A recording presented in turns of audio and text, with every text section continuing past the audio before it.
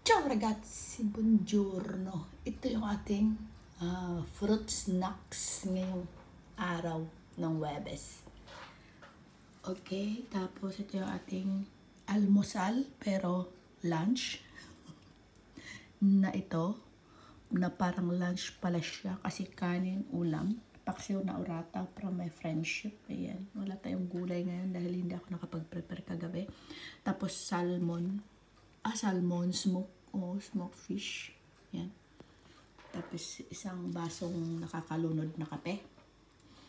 Ito, yung prutas natin, yung snacks natin is persimmon, isang banana, dalawang itlog, avocado, dragon fruit, peras, kiwi, yan, may kiwi, yan, ragazzi. Ito yung ating snacks mamaya. Tapos, babaon pa tayo sa amo. Kakain tayo ng biskoti. Doon tayo magkakape.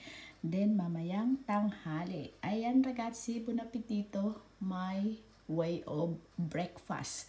Kanin.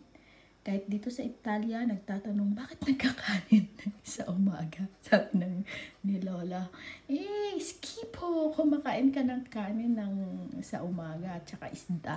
Yes, senyora. Sabi ko, kasi yan yung aking lunch para malakas ako magtrabaho hanggang alas 8.30 ng gabi.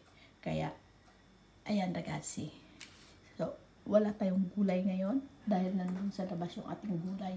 Hindi ko pa na-prepare at wala na akong oras dahil pag kumain ako, kailangan kong mag-spend ng more than half an hour. Okay? Kalahating oras tayong maglalapang dito. Unti-unti habang nanonood ng mga balita at mga chismis sa Pilipinas. Ayan yan lang ragazzi. Grazie for watching and bye!